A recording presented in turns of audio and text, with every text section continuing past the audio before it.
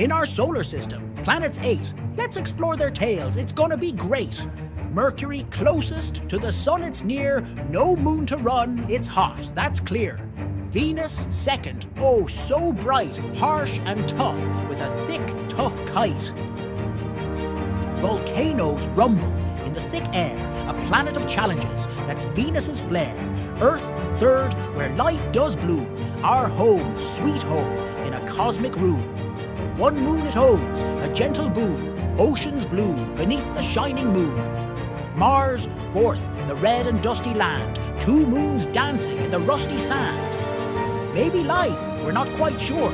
Exploration's key, forever will endure.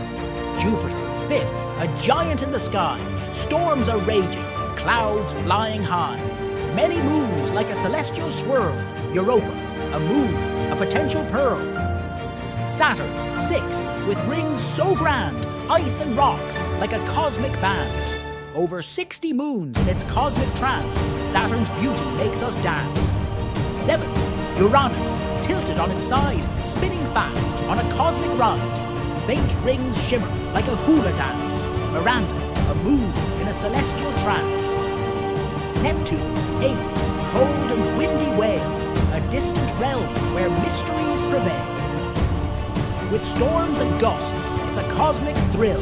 In our solar system, Neptune's chill.